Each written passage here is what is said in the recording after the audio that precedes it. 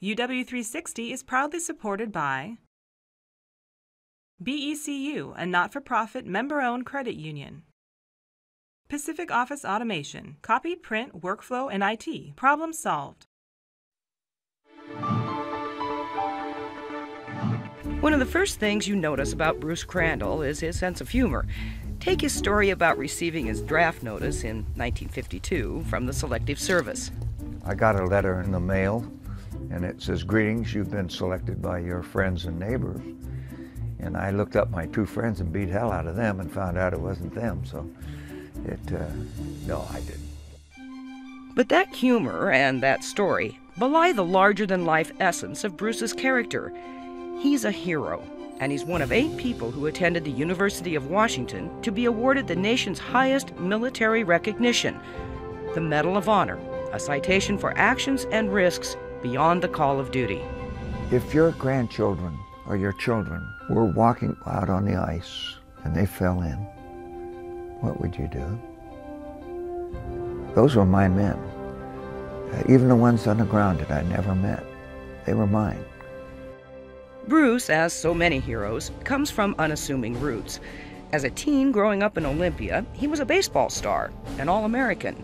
And while in high school, he was also a member of the Washington National Guard. I joined the Guard when I was 15. I lied a little bit about my age, but it was an income thing. As a member of the National Guard, Bruce, in his second year at UW, was free to ignore the draft notice he received in 1952. But he didn't. Instead, he signed up for active duty with the Army. I figured if I went in the military and served, I could still play ball. He indeed became an indispensable team member, but not as a batter, as an Army helicopter pilot. By 1965, at age 32, he was a major in the newly formed Air Mobile Division, the 1st Cavalry. And that's how he found himself moving troops and provisions in the jungles of Vietnam. Johnson had taken over, and uh, the decision was made to build up. And uh, the Cav was one of the first, well, it was the first division-sized unit uh, to be deployed. By the fall of 1965, the troops ordered to Vietnam by President Johnson were facing increasing resistance by the North Vietnamese Army, trained soldiers who posed a more organized threat than the guerrilla forces of the Viet Cong. When the North Vietnamese Army attacked a Special Forces base at Plei Me, the hunt was on. The 1st and 7th Cavalries were ordered to pursue the enemy and attack. That's what we were looking for, really. We wanted to find them and fight them.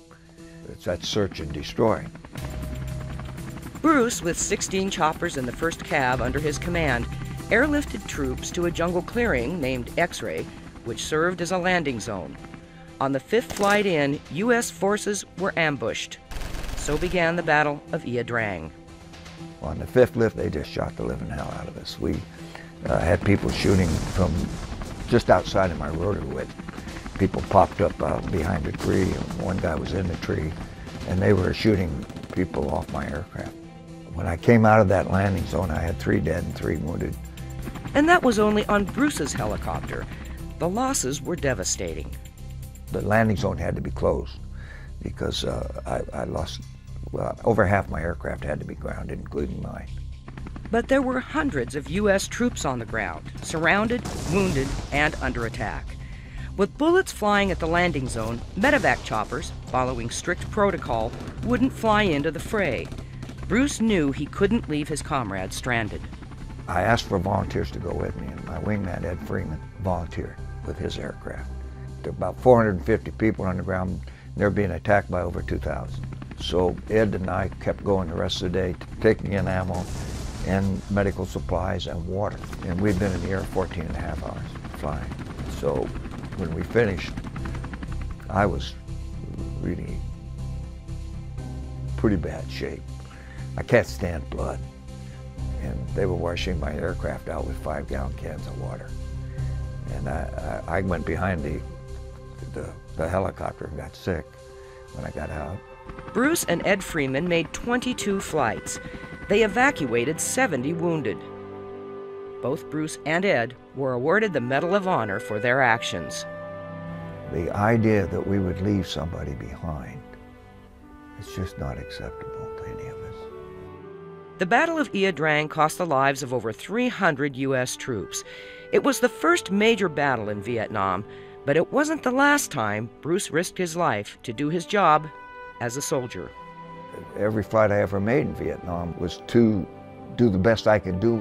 And the only thing that was in my mind was that I should do this, that I don't want to screw up and cause other people to die. And out of all the honors awarded to Bruce, there is one that stands above all others. I think the greatest honor a soldier can have is to lead troops and lead our young people.